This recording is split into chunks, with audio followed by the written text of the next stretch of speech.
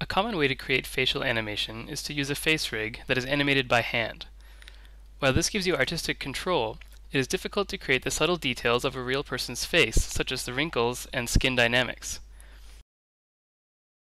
We present a data-driven technique for adding such fine-scale details and expressiveness to low-resolution art-directed facial animations. Freedom is just chaos with better lighting. Face rigs are just one example of low-resolution facial animations.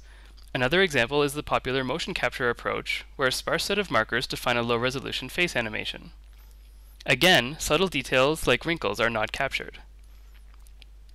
A third example is performance capture from monocular video, where a low-resolution 3D morphable model is dynamically fit to a single video sequence. This approach also fails to capture the fine-scale details of the actor's performance. Another example comes from recent technology by FaceShift, where an actor drives a low-resolution blend shape model using a Kinect depth sensor. These four approaches can all create facial animations, but all suffer from a lack of fine-scale details.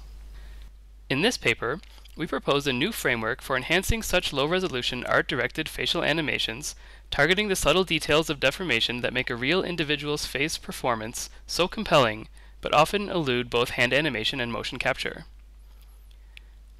Our input is the low-resolution facial animation and a high-resolution performance capture database of the target actor.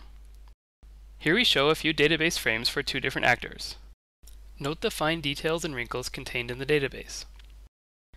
Our algorithm can enhance both the spatial details as well as the temporal dynamics of the performance by matching the input sequence to the database in shape space and then transferring the missing details to the input animation. Here we show an example where the input expression at the top is not in the database, so our algorithm automatically blends between two different database frames to create a closely matching result. We test the algorithm on a validation example consisting of a high-resolution ground truth sequence, which, of course, is not part of the database. To mimic a low-resolution input, we smooth the ground truth sequence. The resulting enhancement closely matches the original ground truth. We demonstrate the power of our algorithm by enhancing several different sequences that are generated by common facial animation approaches.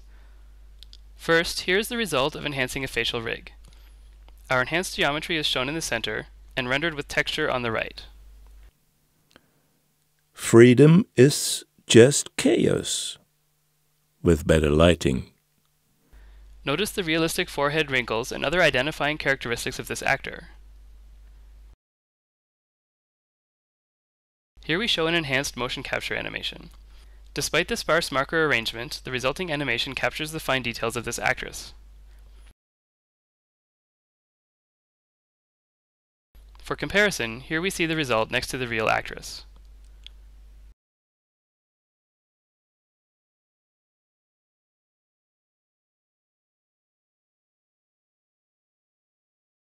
Our third example shows that low-resolution morphable face models can also be enhanced to increase the realism of monocular face capture. So I had this dog named Gilligan. He was my dad's dog, and then my dad got really sick, and so I took him. Finally, we show our enhancement result of a performance-driven rig animation created with FaceShift technology.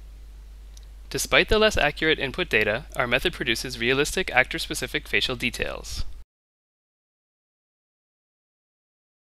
Logic will get you from A to B. Imagination will take you everywhere. We compare our spatial enhancement approach to the polynomial displacement map technique of Ma and colleagues, first on the motion capture input sequence. Since polynomials don't extrapolate well, their approach has problems with input that is far away from the training set, causing artifacts on the cheek and forehead. These artifacts are further exaggerated on the Kinect input, which is even further outside the database.